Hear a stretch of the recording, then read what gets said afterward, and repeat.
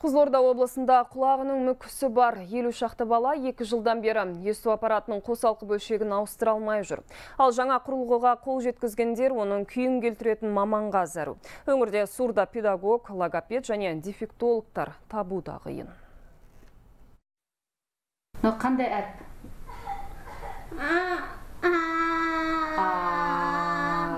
алты жасар нұрали дыбыстарды қайталап сөйлеуді енді үйреніп жүр. Өйткені туғаннан құлақ естімейді. Ем домның түр түрін жасаған ата анасы бала екі жарымға толғанда кохлеарлы имплант орнату жөнінде шешімге келген. Алайда жалпы анестезия мен құлақ артының сүйегін тесіп жасалған операция үмітті ақтамады. Есту жүйкесін электр ынталандыру арқылы аудио ақпаратты қабылдауын қамтамасыз ететін жоғары технологиялы аппараттың күйін келтіру қиынға соғыпты қазақстан бойынша жақсы настройка қойып бере алмайды біз осы үш сайын бәріне барып көрдік. Алматыға да астанаға да біз айтамыз бала естімей тұр нақты деп. Соның өзінде де кінәні өзімізге қояды. Польша еліне робин деген профессор келіп сол кісі настройка февраль айында қойып берді бізге.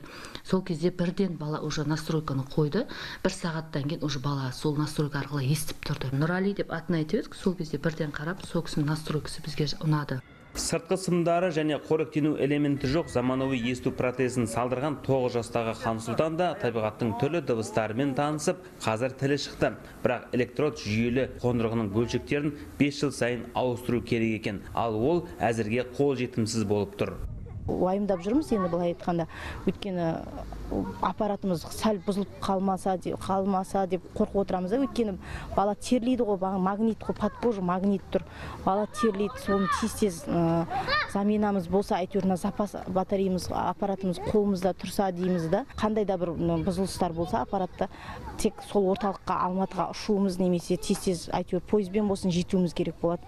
Оның біздің қалада жоқ енді ремонт жағынан болсын басқа жағынан. Облыстық әкімдікке қарасты салалық басқармадағылар мәселеден хабардар. Олардың айтуынша ұсыным құжаттары өткізілген. Дегенмен препараттар бағасының қымбаттауы және мемлекеттік сатып алу заңнамасындағы жаңа өзгерістерге сәйкес кешігулер болып жатқанын мойындап отыр. Өткен жылы мемлекеттік сатып алу өткен жоқ. Себебі 21 жылдан бастап мүгедектерді оңалтуға қатысты барлық оңалту қызметтері мен тауарлары әлеуметтік қызметтер порталына көшті. Осы әлеуметтер қызметтер порталында өнім беру үшін тіркелмеуіне байланысты біз портал арқылы ала алмадық.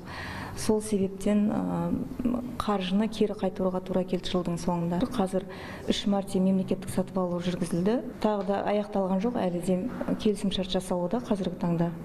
Жауапты басқарма өкілдері тауар жеткізуші мекемеге қатысты мәселе алдағы қыркүйекке дейін шешімін тауып жыл соңына дейін кохлеарлы имплант бөлшектері науқастарға үлестірілетіндігін айтты. Қамбар бекенов нұржан мұзарапшин айтмахамед байділдаев қызылорда хабар 24